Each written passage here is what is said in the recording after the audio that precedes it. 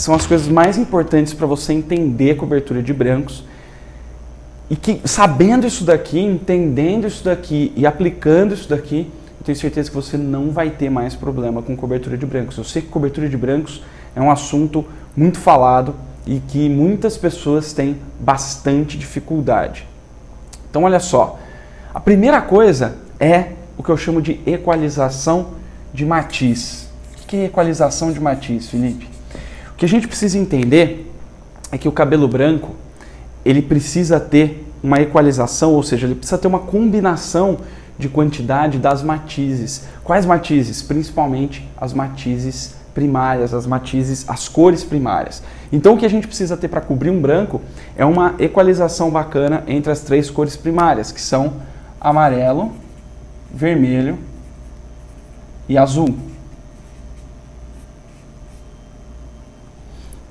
Quando a gente tem esse triângulo de cores aqui, né, a gente monta a cor, a gente faz a fórmula de cor que contenha essas três cores primárias, a gente vai ter uma boa cobertura de brancos. E por que, que eu falo isso? Porque existe uma grande diferença, por exemplo, que muita gente fala em fundo de clareamento, né? Fundo de clareamento, que é o que? É o residual de cor que fica quando a gente clareia o cabelo. Quando a gente clareia o cabelo, então a gente percebe que tem um residual de cor ali que fica, que pode ser um amarelado, um alaranjado, enfim, geralmente são cores quentes. Só que o que ninguém fala é do fundo de escurecimento. E o que é esse fundo de escurecimento? É o que a gente precisa para escurecer o cabelo, porque clarear é uma coisa, clarear a gente está lidando com a retirada de pigmentos naturais do fio.